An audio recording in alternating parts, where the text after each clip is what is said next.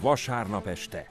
Nem vagy te egy kicsit skizofrén? Vagy paranoiás, ez lett volna. nem? A gyerek, aki 11 hónapos, azt mondta, hogy ő csak egy gyerek, nem ő a legnagyobb mester lehet, aki közben téged valami sok mindenre megtanít.